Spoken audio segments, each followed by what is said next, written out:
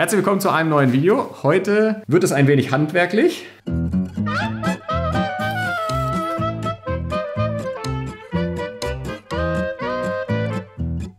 Ich habe tatsächlich mal von Igor den Schweißtisch hier in meine Halle rübergerollt. An der Stelle nochmal vielen Dank, Igor. Echt mega praktisch, die Dinger. Das ist tatsächlich sogar ein Bausatz. Den schweißt man sich selber zusammen.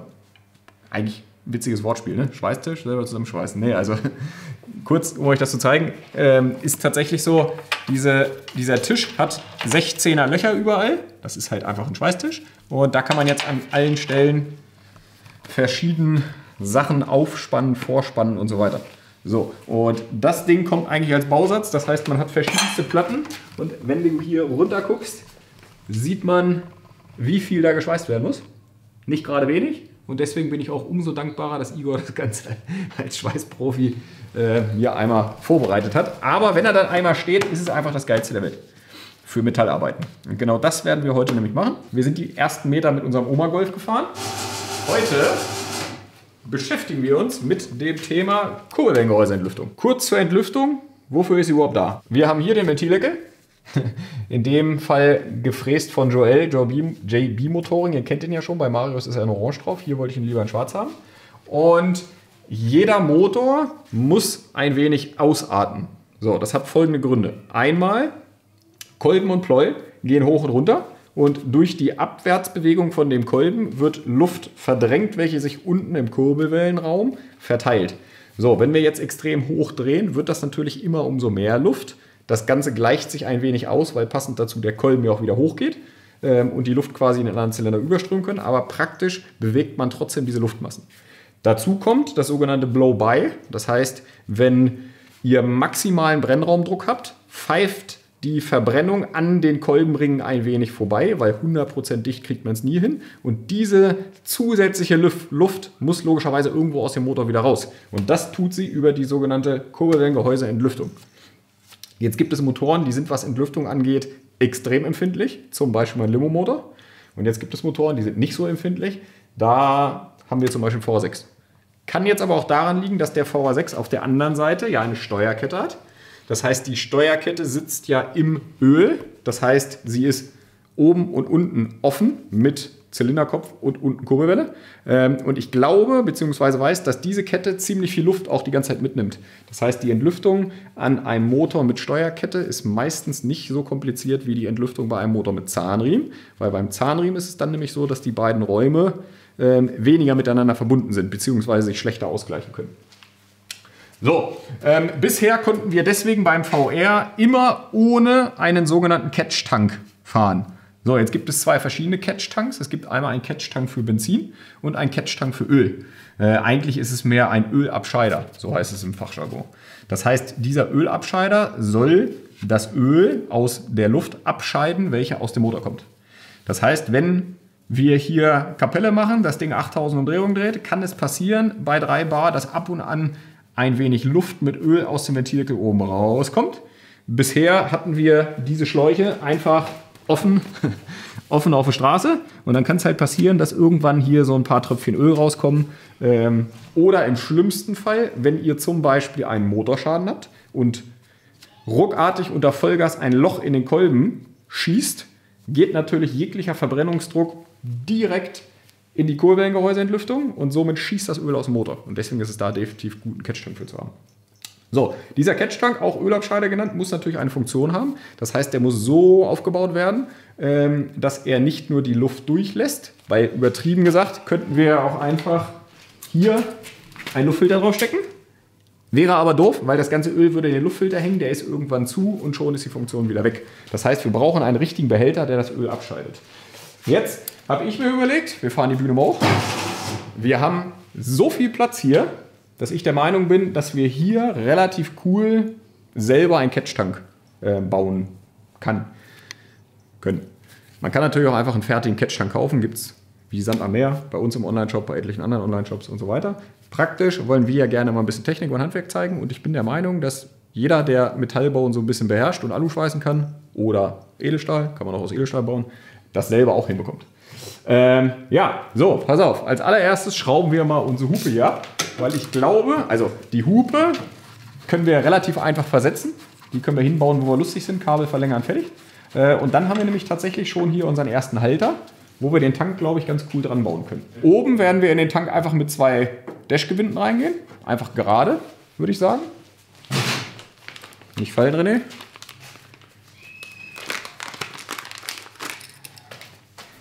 Hier werden wir, zack,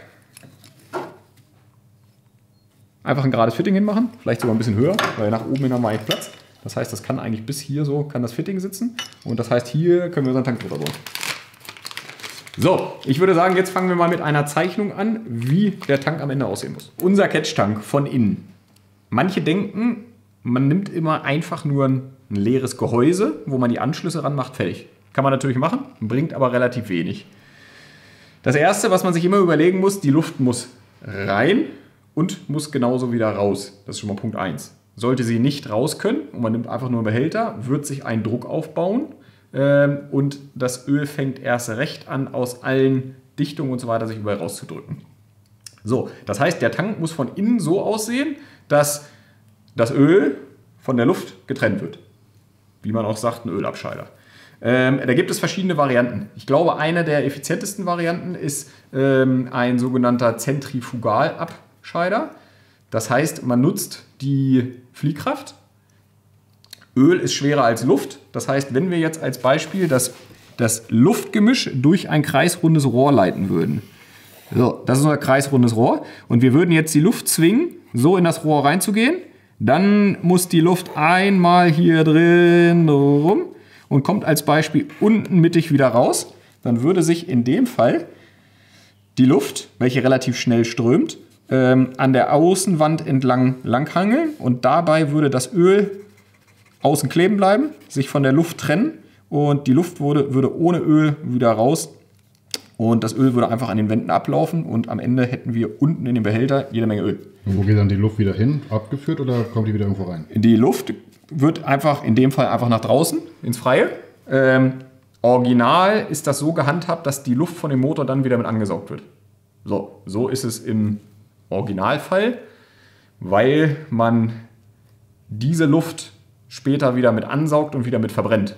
So, jetzt ist aber das Problem, dass diese Luft natürlich immer noch Öl drin haben kann und jegliches Öl in der Ansaugung ist immer ähm, ein, ein Risikofaktor in Bezug auf Klopfen weil natürlich Luft mit Öl nicht so klopffest ist wie reine Luft. Mhm. So. Deswegen bei ganz vielen Autos, beim Golf wie auch immer, irgendwann kommt immer der Punkt, wo man diesen Catch-Tank nachrüstet.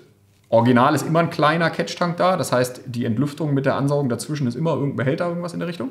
Ähm, aber irgendwann wird das Ganze halt ausgelagert und dann kann man halt so einen richtigen Catch-Tank bauen. Und dann habe ich noch eine Frage. Hat die Luft, die dann unten wieder rauskommt, noch genauso viel Sauerstoff äh, wie vorher? Ja, ist ja kein Unterschied, weil Luft ist Luft. In dem Fall. Weißt du? Nee, nee, also das ist alles, das ist alles identisch, das ist alles ganz egal. Sie ist halt nur hoffentlich ölfrei. Mhm. So, und jede Menge Öl da unten drin. Jetzt ist natürlich das Problem, in rund seitlich eingehend wird an der Stelle problematisch zu bauen. Ähm, nee, würde vielleicht gehen. Das Problem ist, wenn dieser Tank effektiv ist und relativ viel Öl aus der Luft filtert, heißt das natürlich, dass auch relativ viel Öl in den Behälter am Ende ist. Und dieses Öl muss ja irgendwo hin. Mhm. So. Wenn es jetzt der Limo-Motor wäre, würde ich dieses Öl zurück in die Ölwanne leiten. Würde in dem Fall, jetzt wo ich es hier gerade sehe,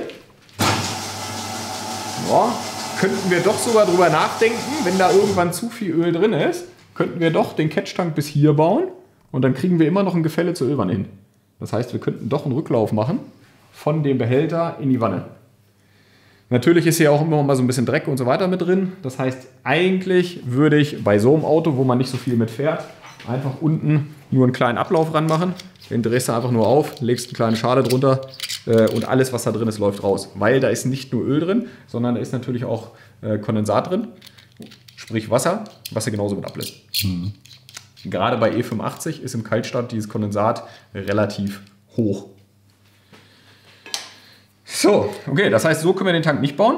Deswegen machen wir jetzt folgendes. Ich zeichne den Tank jetzt mal von oben. Da das alles ziemlich eckig ist, machen wir folgendes. Das ist unser viereckiger Tank. Hier gehen wir kreisrund mit den beiden Anschlüssen rein. Dann muss die Luft nach unten. Ähm, das heißt, wir machen da eine Art Labyrinth rein.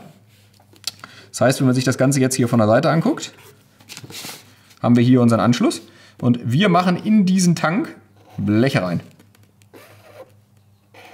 So, das heißt, die Luft, die reinkommt, wichtig ist, dass diese Bleche so stehen, dass das, jetzt, ich habe sie leider falsch gezeichnet, sie müssten eigentlich ein bisschen mehr so stehen, dass das Öl ablaufen kann nach unten.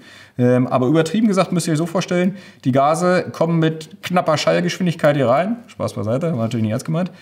Prallen hier drauf, denken sich, was ist das? Und das Öl bleibt halt einfach hier hängen und die Luft zirkuliert halt schneller als das Öl. Das heißt, die Luft muss in dem Fall hier so durch und bis sie hier unten angekommen ist, äh, ist hoffentlich jegliches Öl weg. Das heißt, Luft kommt an, Öl kommt hier unten an. Diese Platte, die hier zwischen ist, da werden wir zum Beispiel überall Löcher reinmachen, dass das Öl wirklich großflächig unten reinlaufen kann. Äh, und dann würde ich vorschlagen, machen wir ein, einen weiteren Behälter daneben. Das kann man natürlich auch als ein Behälter mit einer Trennwand machen, äh, wo die Luft dann einfach als Beispiel wirklich einfach nur stumpf wieder gerade rauskommt. Hier oben kommt dann der Filter drauf und fertig. So, das heißt, selbst wenn noch ein ganz bisschen Öl da ist, bleibt es dann spätestens in diesen Filtern hängen und muss man natürlich regelmäßig sauer machen. Ne? Mhm. Ich weiß noch nicht, ob wir da Platz für haben, gucken wir uns aber gleich mal dann an. So, ähm, jetzt ist natürlich das Wichtige, wir brauchen darunter ein sogenanntes Reservoir, dass auch das Öl sich irgendwie sammeln kann. Das heißt, die einfachste Variante wäre natürlich hier einfach so ein Reservoir drunter, dass das Öl sich hier mit der Zeit sammeln kann. Problem ist, ist dieses Reservoir zu klein und der Ölstand ist irgendwann so hoch, dann haben wir folgendes Problem, dass wir dann ähm, eine, eine Abdichtung ungewollt haben. Das heißt, die Luft, die hier reindrückt, kann gar nicht mehr dran vorbei und wieder raus, äh, weil es hier, überlege, wie der Fachbegriff, Fachbegriff ist, äh, nicht eine dynamische Abdichtung, eine flüssige Abdichtung. Keine Ahnung. Auf jeden Fall ist es flüssig abgedichtet. Deswegen müssen wir immer darauf achten, dass der Füllstand so niedrig ist, dass die Luft noch durch kann. Ich hoffe, man kann das über Kopf erkennen. Geht das? Mhm. So. Äh, deswegen die Vari eine Variante ist einfach hier das Ganze so zu bauen. Die andere Variante wäre, wir bauen oben ein Teil und unten ein Kasten. Der kann dann größer sein, äh, den wir daran setzen, dass wir halt unten ein bisschen mehr Volumen haben. Das heißt, als erstes würde ich jetzt anfangen und oben erstmal diesen Teil bauen. So, hm. jetzt gibt es zwei Varianten. Entweder wir nehmen den Karton das können wir eigentlich mal machen und gucken mal. So, ähm, da wir diesen Halter hier weiter nutzen wollen, würde ich jetzt einfach mal ein Vierkant bauen. Warte mal, ich habe gerade eine Idee. Ich sehe was.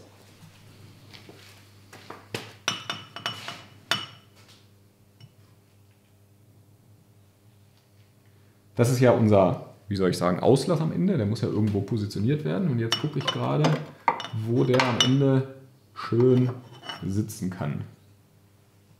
Das könnte schon...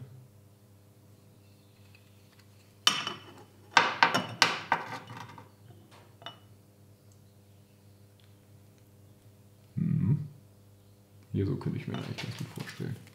Okay, das heißt, wir gucken einfach mal, was wir an Bauraum hier haben. Ähm, von der Tiefe her. Den Halter können wir natürlich am Ende noch ein bisschen zurechtbiegen. Ist jetzt nicht so Pflicht, dass er genau so steht. Aber wir dürfen nicht über diese Kante hier kommen, äh, weil hier geht definitiv die Stoßstange am Ende lang. Da ist kein Platz. Das heißt, ich würde jetzt mal mit einem viereckigen Karton anfangen, der ja, 8 mal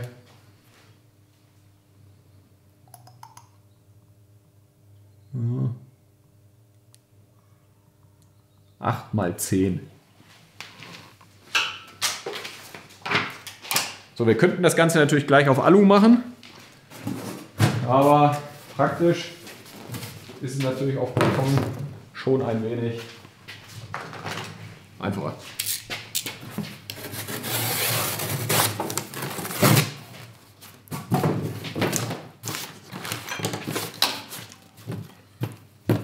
So, äh, was habe ich gerade gesagt? 8 mal 10. Ne? Jetzt müssen wir natürlich noch eine Höhe wissen.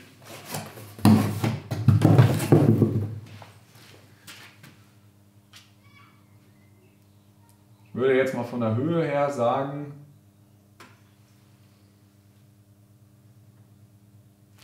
maximal 20.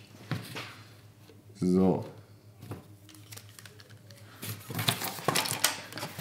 Und schon so einen großen, trotzdem noch zu klein. Machen wir folgendes. Da der unser Viereck am Ende 20 cm haben soll. Okay, die Frage hat sich ja übrig. Der, wir haben witzigerweise, ich habe noch so einen alten Blechstreifen gefunden. Der hat 21 cm.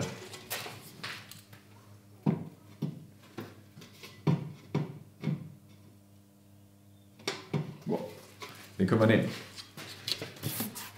So.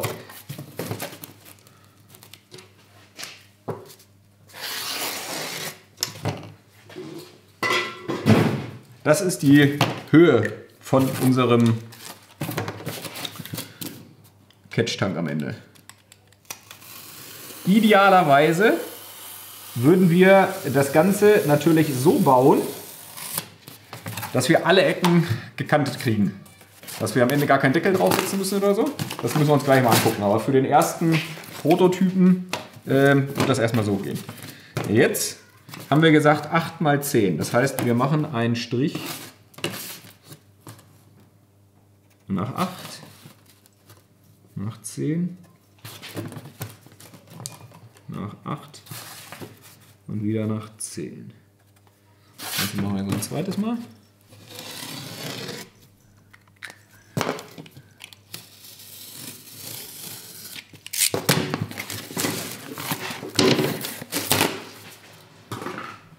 Zack.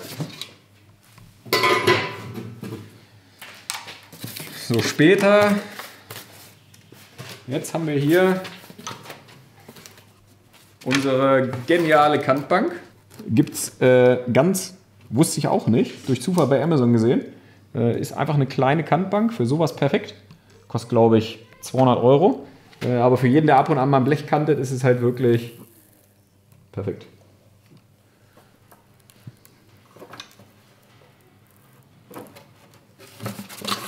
So, bei, bei Pappe ist das Ganze jetzt natürlich nicht so wichtig. Ich mache es jetzt einfach nur, um mir die, das so ein bisschen vorzubiegen.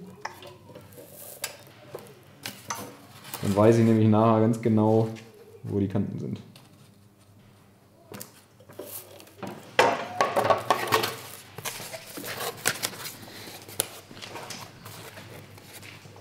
Acht mal zehn. Acht mal zehn. Imaginär müsst ihr euch vorstellen, würden wir das Ganze jetzt gerade mit Alu machen, da geht das Ganze natürlich nicht ganz so einfach. Äh, aber in dem Fall geht das schon. Falls jeder von euch draußen ein paar Kinderstimmen hört, das hatten wir nämlich schon mal hier bei mir in der Halle, da sind draußen die Kinder am Spielen. Nein, das sind nicht meine Kinder. Könnte deine Tochter sein, René, ne? Mhm. Ist aber auch nicht. Aber hier sind trotzdem ein paar Kinder am Spielen. Also nicht wundern, das sind keine Geister, die ihr hört, es sind tatsächlich ein paar Kinder draußen. Aber krass, dass das Mikrofon das einfangen kann. Ne? Mhm. Dafür, dass wir hier in der Werkstatt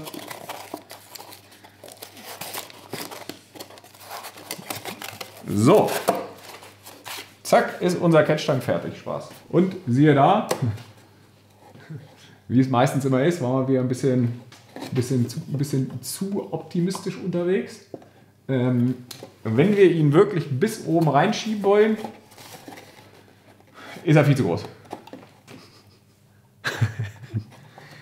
Da müssen wir nochmal ein bisschen flacher machen. So, jetzt überlege ich gerade, ich glaube, es ist doch notwendig, dass wir diesen Tank mehrteilig machen. Also mehrteilig im Sinne von, wir machen ein Viereck, was hier runterkommt, erstmal mit den Blechen drin und dann unten ein Reservoir, wo ähm, das Öl sich drin sammelt. Weil dieses müssen wir tatsächlich sowohl flacher also eigentlich eher so und hier ähm, kürzer machen.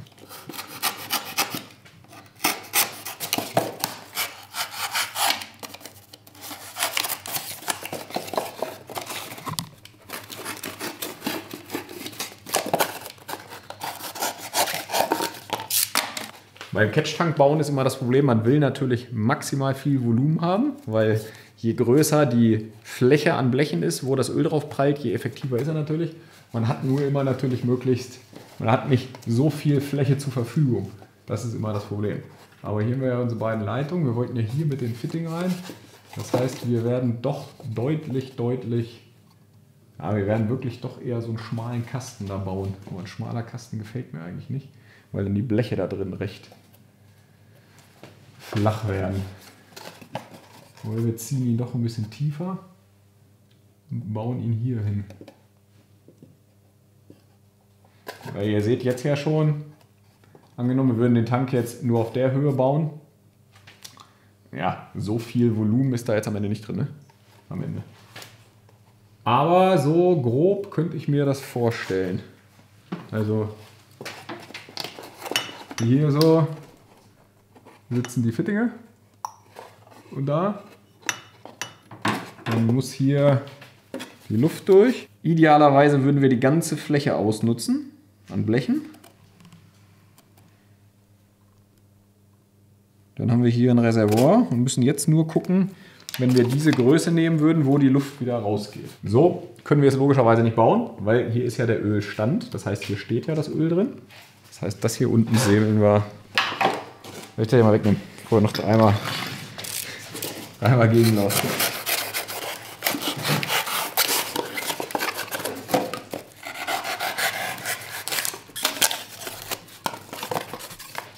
So.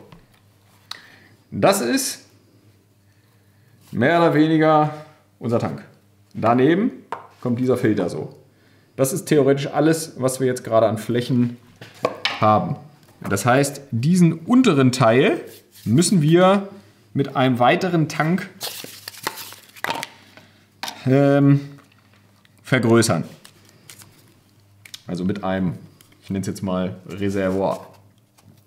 Das heißt, wir brauchen hier unten 200 mal 80. Jetzt bereiten wir den kurz vor.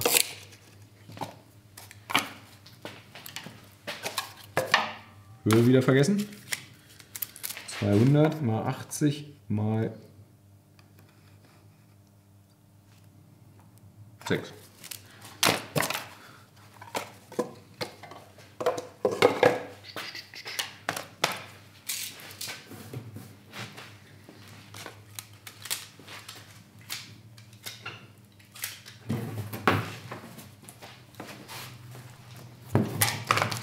manchmal hilft es, sich im Kopf immer zu überlegen, wie lang es ist, damit es nicht doppelt macht. 280 sind 280, sind 560 in der Länge brauchen wir. Ja, siehst du?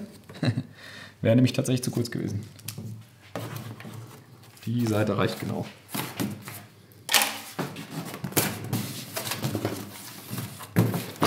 Aber echt so ein Riesentisch ist schon wieder zu klein.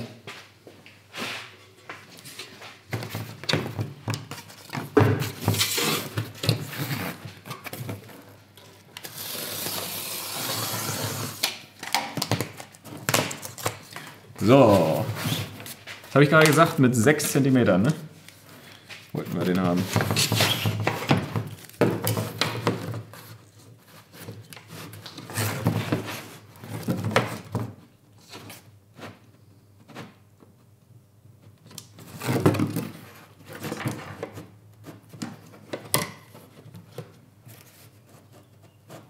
Und das Ganze müssen wir noch in Alu bauen, ne? Also, jeder, der denkt, das wäre jetzt schon wieder aufwendig.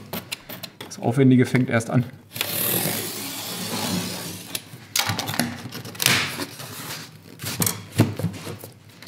Krass, aber echt Karton genommen. Der direkt was kann.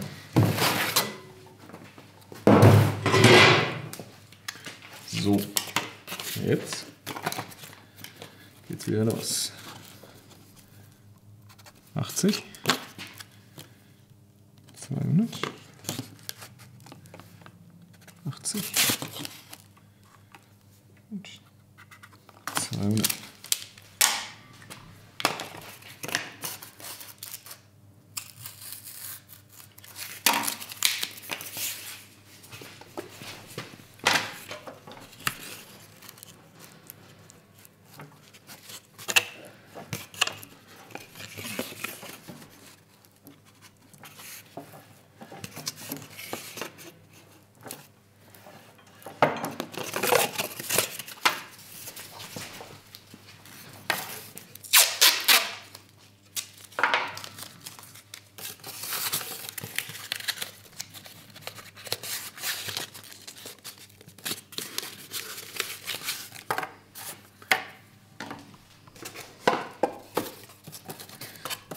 jetzt müssen wir den noch passend kürzen. Gucken wir mal, ob das ungefähr hinkommt.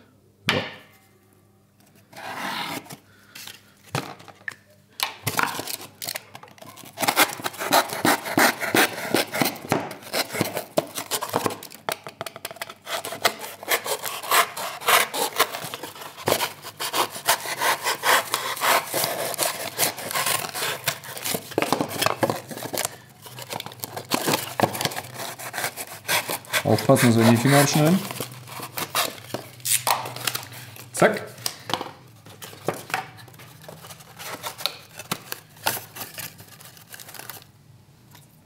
Jetzt werden einige sagen, das wäre doch wieder das perfekte Teil zum Scannen und 3D-Drucken. Aber ab und an macht es halt auch wirklich Spaß, wenn man so einen schönen sonnigen Tag in der dunklen Werkstatt äh, mal aus Alu was Schönes baut hier.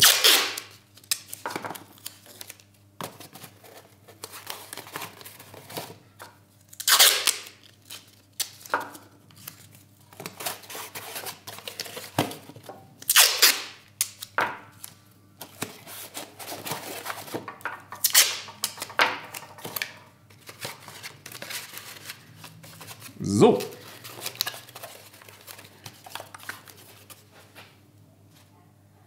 Sieht eins zu eins aus wie vom B5 die ZV-Puppe damals. Die war auch genauso von Abmaßen her. Ähm, das ist jetzt hier unser Tank. Der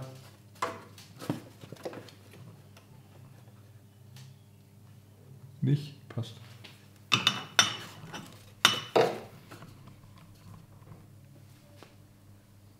Weil eigentlich muss er passen hier. So. Wir sind jetzt genau auf Unterkante Radhausschale. Ich würde jetzt mal diese Kante würde ich als allerletztes bauen. Das heißt, wir können es zur Not jederzeit den ganzen Tank noch kürzen. Aber praktisch finde ich eigentlich, dass wir so, hier sitzt dann der Filter. Ach, ist ja offen, ja, so durchschicken. äh, hier so sitzt dann der Filter am Ende. Und oben gehen die Fittinger rein.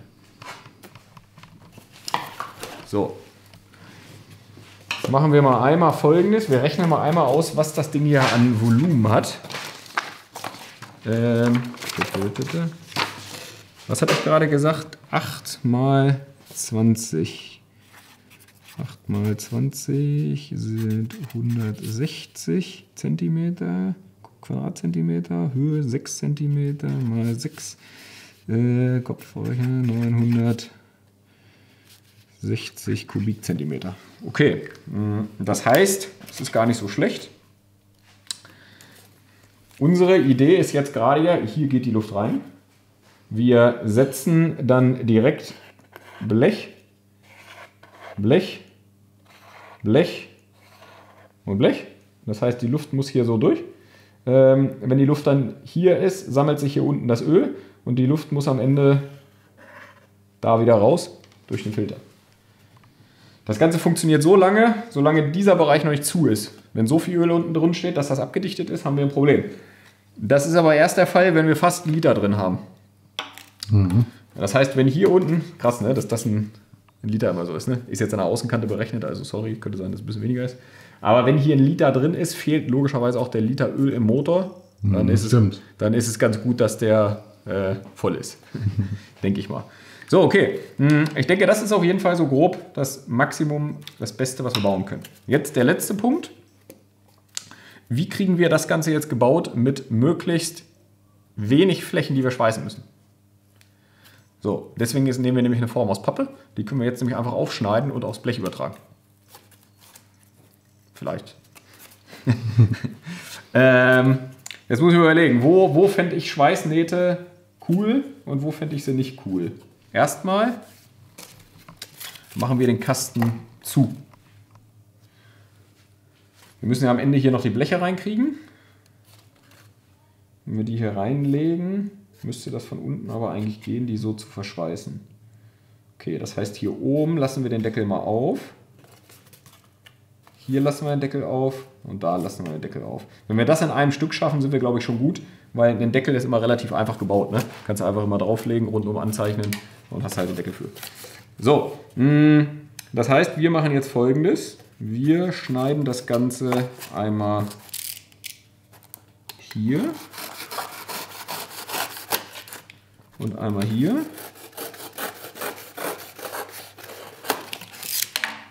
Und genau das übertragen wir jetzt aufs Blech. Wenn alles gut läuft, schneiden wir das aus dem Blech aus, Kantens und haben unser Alu. Haben wir in Anführungsstrichen das Problem, wir haben jetzt entweder 3 mm Alu oder 1,5er.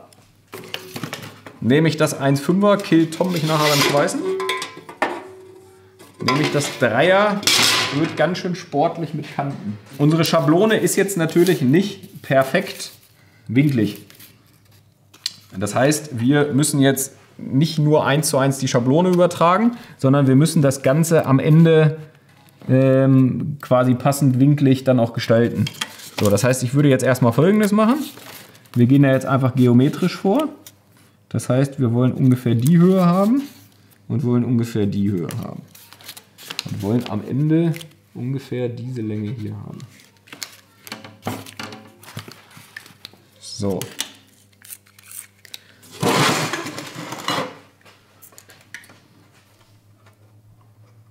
So, jetzt werden mich leider gleich einige wieder hassen, weil man es eigentlich nicht macht. Bitte nicht nachmachen. Wir reißen jetzt mit, äh, der, mit dem Messschieber, aber da das eh ein Alter ist, reißen wir jetzt damit an. Da gibt es eigentlich extra Werkzeug für. Aber mir ist es jetzt in dem Fall egal. Weil wir so natürlich hier jetzt eine perfekte Linie hinkriegen. Die kreise ich mir einmal ein, dass ich sie nicht vergesse. So, dann drehen wir das Ganze um.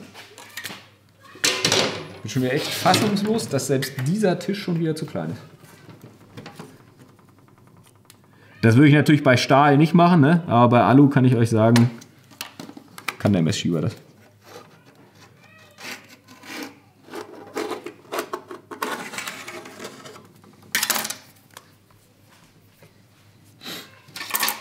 So, das waren Höhen Nummer 1 und 2. Die können wir ohne Probleme einfach so anreißen, weil es da jetzt nicht drauf ankommt.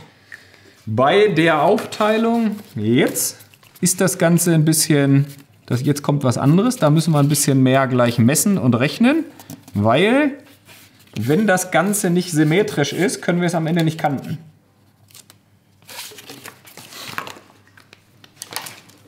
Das heißt, da muss man aufpassen, dass das Gebilde jetzt komplett symmetrisch wird. So, siehe da, wir wollten ja eigentlich am Ende auf 56. 56 ist ein bisschen weiter hier.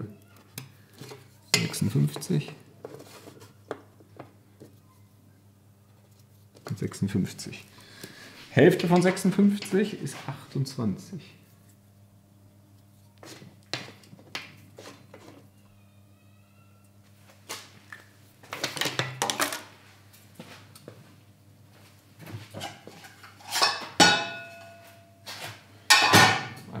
Gerades suchen. Das sieht gut aus.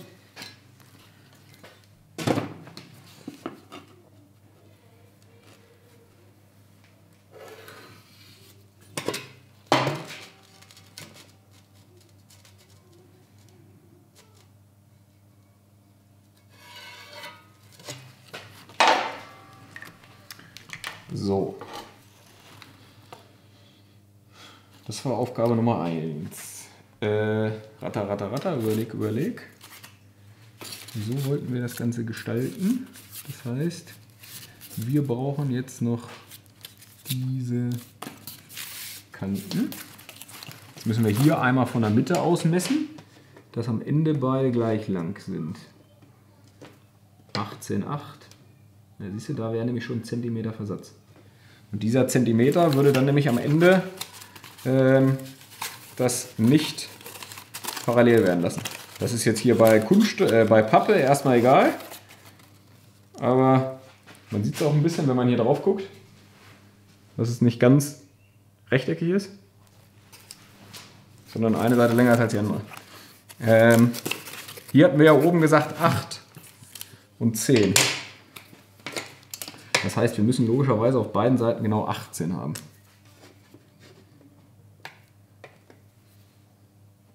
Heißt, wir müssen hier hin. Und hier passt es fast. Müssen wir dahin. Junge, wird das wieder ein langes Video, ne?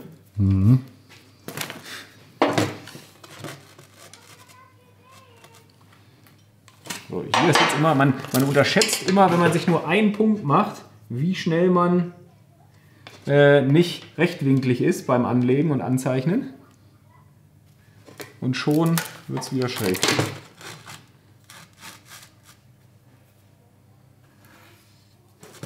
So, wenn jetzt ein Tipp bei Alu ist auch immer die Ecken bohren, dann kann man da besser reinschneiden. Da wir in dem Fall aber von, immer von außen reinschneiden können, ist das kein.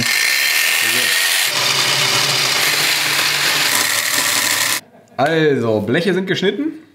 Beim Schneiden habe ich mir doch überlegt, wir machen das Ganze lieber zweiteilig, sonst wird, wird das so ein gebogenes Konstrukt um ähm, unsere Kantbank drum, dass ich glaube, dass das besser ist, wir machen es einzeln. So, wir fangen mal mit dem, mit dem einfachsten und kürzesten Teil an, würde ich sagen. So, das heißt, hier haben wir einfach unser. Zack, jetzt legen wir das schön an. Und dann. Ja, na. Okay, das ist halt 3 mm. Das ist halt schon saftig. Guck, war tatsächlich sogar schon so weit. Jetzt können wir es aber zum Glück einfach wieder ein bisschen, bisschen aufbiegen.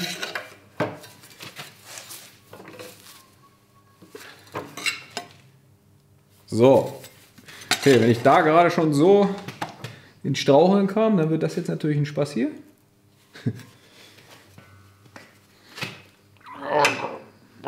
Junge. Ich wurde auch mal mit zum Verlängern.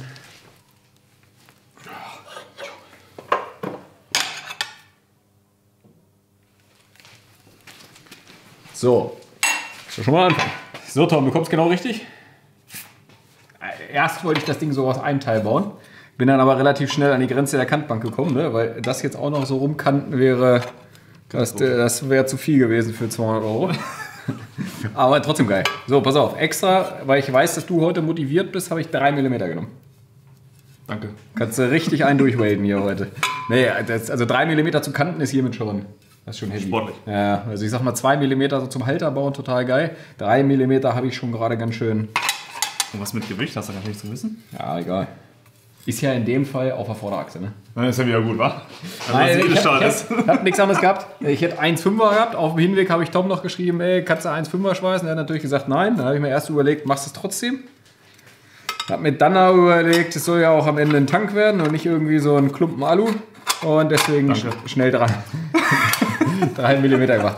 Nein, die, ähm, pass auf, folgende Thematik. Die Zuschauer werden es schon in den letzten 60 Minuten mitbekommen haben. Hier gehen zwei Dashleitungen rein. Das heißt, hier machen wir noch so Labyrinthbleche. Und hier ist Ausgang.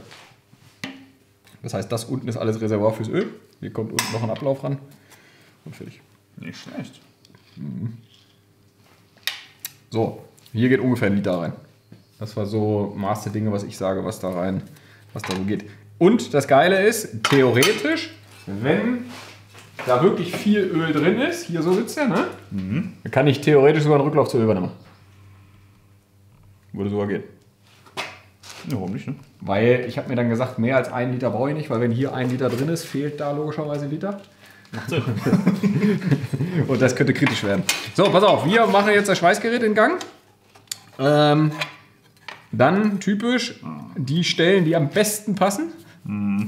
Hier, film mal da, da passt es gerade extrem gut. die, die, die am besten passen, punkten wir erstmal an. Aber guck mal immerhin, wie geil gleich hoch und so das ist. Ne? Das ist schon, das ist schon nicht schlecht. Ne? schön. Ähm, die, die am besten passen, punkten wir an. Alles andere muss man dann halt mit dem Hammer passend dengeln, ne? dass da möglichst wenig Spalt ist. Ne? Okay, und los.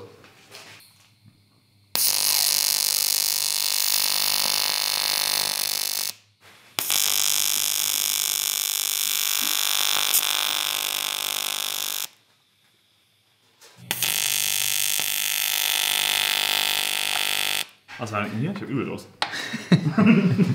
Kommt nur zu. Ich muss doch zur Nachtschicht. Echt? ja. Ach du Scheiße. Ich wusste gar nicht, dass wir jetzt Nachtschicht machen. Ich auch nicht.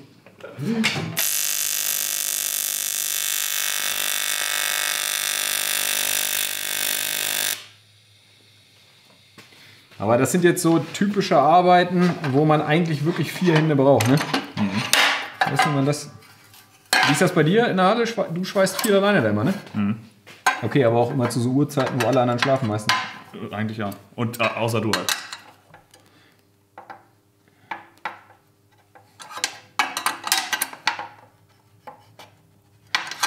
Ich weiß noch, wie Tom kotzt ganz gerne mal so richtig über meine Vorarbeiten ab, deswegen muss ich mir jetzt hier richtig Mühe geben. Muss ich auch mal zusammenreißen. Jetzt da noch mal einen drauf.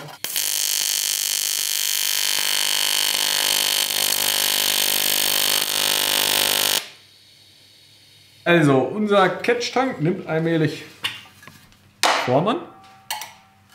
Durch das Kanten sparen wir jetzt einige Nähte. Man hätte es auch ohne Kanten bauen können, ne? Ist so, ja, jeder, der wieder Bock drauf hat. Äh, was allerdings jetzt diese Deckel zu bauen, ist immer das einfachste der Welt, weil stellen wir einfach nur drauf, zeichnen einmal drumherum und schon können wir da einfach passend einen Deckel. Weil wir machen jetzt folgendes: Solange du das durchschweißt, bereite ich schon mal die Deckel vor. Das heißt, wir brauchen den Deckel, den Deckel, den Deckel und dann machen wir noch ein paar Schwallbleche hier zwischen, so Labyrinthbleche. Und ich würde sagen, bevor wir die Deckel drauf machen, melden wir uns wieder zurück. Zieh es dir rein. Ganz geil geworden, finde ich. So, unser Gerät. Hier sieht man, wir haben es mit der Absicht noch offen gelassen. Jetzt die Wände. Ich weiß nicht, ob ich vorhin falsch rum gesagt hatte. Äh, aber auf jeden Fall, die Wände müssen natürlich so sein, dass die Luft gegenströmt, daran vorbei will. Also der Winkel muss abfallend sein. Deswegen ist der nächste da drin auch wieder andersrum. Und ähm, die Ecken habe ich einfach ausgeschnitten, damit dort das Öl ablaufen kann. Und das Ganze natürlich von hier auch. So, also jegliche Luft, die jetzt hier gleich durch diese Dashfittinge reingeht, prallt auf das Blech, muss an dem Blech vorbei und muss dann hier wieder raus. Hier müssen wir noch das Rohr setzen, fällt mir ein für den Filter, äh, bevor wir die Platte hier unten drauf schweißen, dass wir halt ordentlich Späne alle rauskriegen.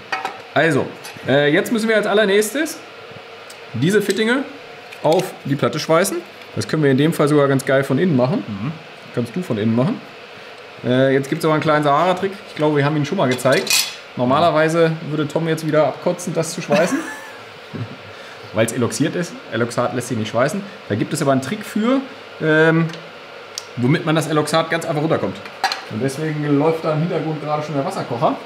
Und zwar Rohrreiniger plus kochendes Wasser. Kochendes Wasser deswegen, hat uns der Schwan ja mal erklärt, mit 10 Grad mehr Temperatur bei Flüssigkeiten ähm, verdoppelt sich die Wirkung. Verdoppelt. Krass. So, deswegen geht kochendes Wasser mit dem Zeug so richtig ab. Habe ich auch hammerhart zu Hause auch schon mal reingekippt. Mit kochendem Wasser. Ja, Nach dem Chinesen. So, jetzt hat man irgendwo, René, hast du doch einen Topf da hinten. Da.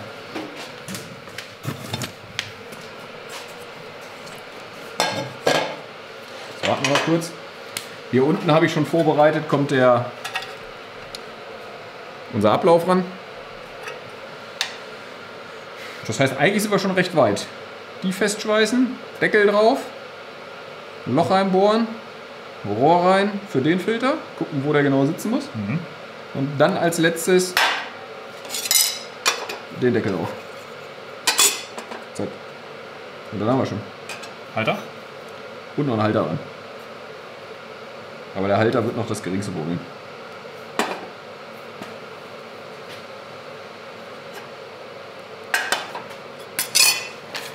Wie viel machst du davon rein? Nach Gefühl?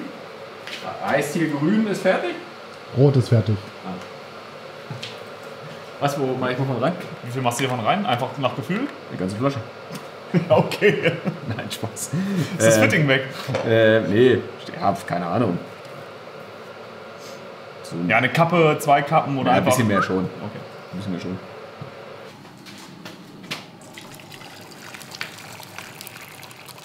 Wollen wir doch eine Suppe kochen.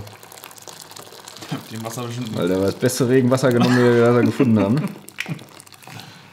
So, pass auf, jetzt gib da mal einen Schluck rein, aber erschrick dich nicht. Nee, das darfst du gerne machen. Ich Das geht zu. wirklich, das geht übel ab. Also die Dämpfe würde ich auch nicht, würde ich auch nicht unbedingt einatmen. Okay, bisher habe ich immer mit Pulver gemacht, das ging auf jeden Fall mehr ab. Brutal. Ich geh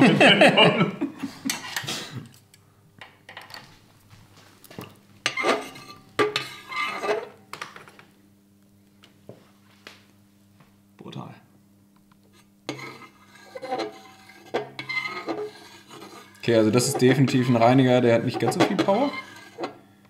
Vielleicht doch ganze Flasche? Nee, guck, also Naja, es geht schon, aber. geht schon was, aber Aber sieht irgendwie langweilig aus, finde ich. Ja, Sah ja. dem Pulver geil aus. genau, also mit dem Pulverzeug, mit dem Pulverzeug war es tatsächlich so. Ah, guck, siehst du jetzt?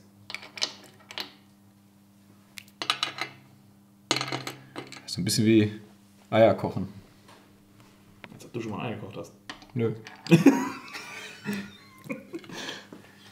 Bei, selbst bei Silbernteilen, das sieht man nicht mal. Ach, das ist, das ist eloxiert? Ja, ich würde sagen schon, weil es war so ein bisschen eher so Gold-Silber, ne? Deswegen.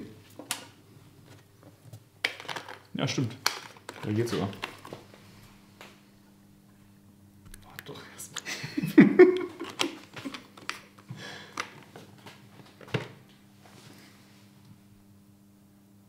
Herzlich willkommen bei Philipp Kocht. Füg bitte das Kochbild hinzu. Jetzt muss ich hier so eine, noch eine Kochschürze. So eine Mütze. Nahnetz. Nahnetz, ja. Ja, aber das, das ist hier die. Steht ja auch 5 Minuten Wirkformel. Bei 500 Milliliter. Bei 250 zwei Stunden. Wer das ausgerechnet hat, weiß es zwar auch nicht, das hätte sogar ich hingekriegt. Jetzt ist hier gleich so weit, dass ich rein gar nichts mehr sehe.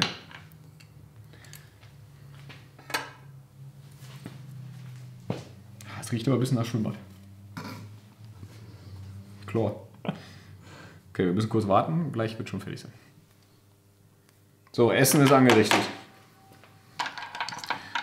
Ist nicht jetzt 100% blank, aber fürs Schweißen reicht das, weil das zeigen wir euch jetzt. Ähm, wir schweißen das Ganze nämlich in dem Fall jetzt von innen. Boah, das ist aber schon brutal. Okay, bringen wir den Kochtopf kurz weg. Der war nämlich fast schon zu lange drin. Dies- Das wird dann mit der Zeit, wird es wird schwarz. So richtig schwarz oder einfach nur dunkel? Ist schon richtig schwarz. Oh, was bezahlen Leute denn so viel Geld fürs Eloxier? Aber ich hab's gefeiert. Als mir den Trick irgendwie, ich weiß gar nicht mehr, wer es war. Nicht schwarz? Ich glaube Chris, nee, Chris hat mir den damals gezeigt. Welcher? Äh, KKS Chris. Weil die Aluschweißer kennen es halt, ne? Weißt du? Man hat schon öfter mal was Eloxiertes. Und das ist halt wirklich Kenne ich gar nicht. Gold wert. So, also die hätte ich jetzt gerne natürlich parallel. Die können wir jetzt nämlich perfekt einfach von innen. Kannst da schöne Naht drauflegen. Dann sieht das nämlich von außen einfach nur drauf, wie drauf gesteckt aus. Und ich bereite in der Zeit schon mal das Loch hier für den Filter vor.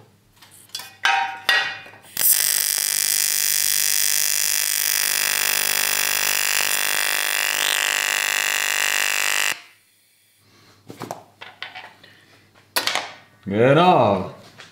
Du hast aufgepasst. Ganz wichtig ist halt, ganz wichtig ist halt,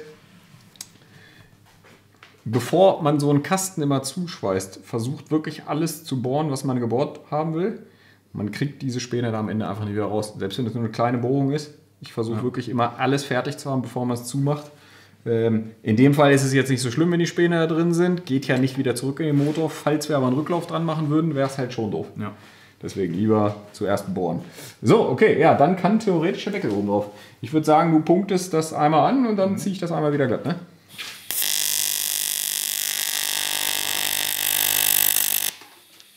Da heute ist aber echt ein guten Tag, ne? Muss auch los. Zieht euch das rein, Alter. Tom gibt alles. Kann man schon machen. ja. Geht. Kann man schon machen. Ich find's gut. Gefällt mir. Ich hätte es nicht besser hinbekommen. Wenn du willst schon. Nee. Ah, komm. Heute nicht mehr. So, äh, hier haben wir jetzt unten unseren Auslass schon mal reingemacht. Einfach ein Rohr reingesteckt. Kommt jetzt hier der Filter drauf. Und zack. ist unser Tank fast, fast fertig. So, äh, ich habe den gerade mal einmal mit Wasser und mit Luft durchgereinigt. Oh, diese Bleche sehen aber auch krass irgendwie aus, ne? 5 PS mehr. Minimum. Äh, durchgereinigt und jetzt kommt der letzte Step. Das ist der Deckel. Unten. Das Verschlussteil. So, den machen wir jetzt noch drauf und dann gibt es das große Finale und hoffen, dass er im Auto passt. So, also unser Gesamtkonstrukt ist jetzt fast fertig. Sieht aus wie eine mobile Kaffeemaschine. Er sieht fett aus.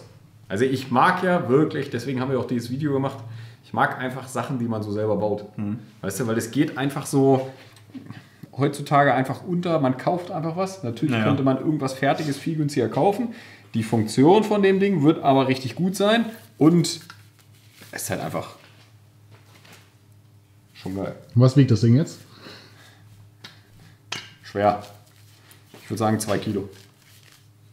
Hast du ein Eichgewicht? Ein Kilo? Hast du mal kurz gucken können? Anderthalb, anderthalb, zwei Kilo. Weil halt drei Millimeter. Ne? Also wir hätten es wahrscheinlich mit einem Kilo bauen können, aber in drei Millimeter wird schon ein bisschen mehr wiegen. Ist aber nicht, nicht jetzt in dem Fall nicht, nicht so dramatisch, ist hier egal. So, pass auf, jetzt gucken wir mal, wo das Ding hier am Ende sitzt, weil wir müssen noch einen Halter ranmachen. Beziehungsweise eigentlich zwei Halter. Weil ein Halter ist immer doof. Äh, muss noch ein zweiter ran. Also, erstmal. Alter.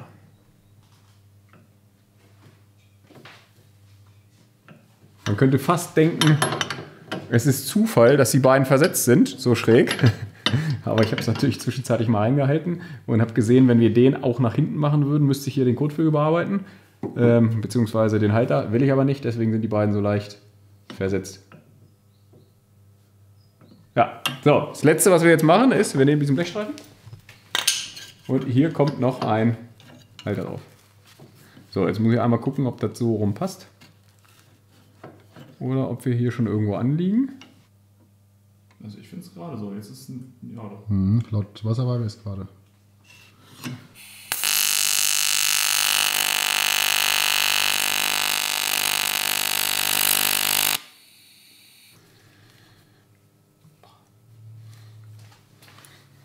Gut. Wenn jetzt noch passt, haben wir alles, oh, Falsch gemacht. alles richtig gemacht. Ist das was drin, Gott sei Dank schön warm war. Okay, also ich merke schon, wir werden auf jeden Fall noch einen zweiten Halter reinmachen.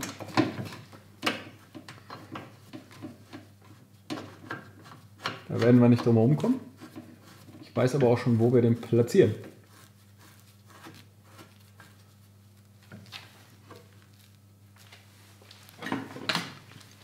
Ah, Ringschau.